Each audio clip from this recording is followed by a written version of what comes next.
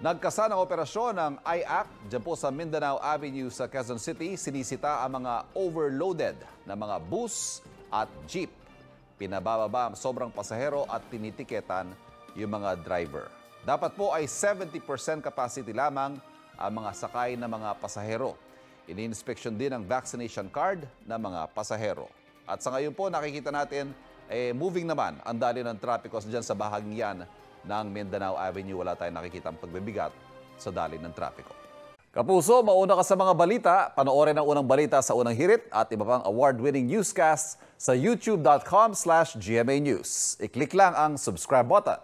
Sa mga kapuso abroad, maaari kaming masubaybayan sa GMA Pinoy TV at www.gmanews.tv.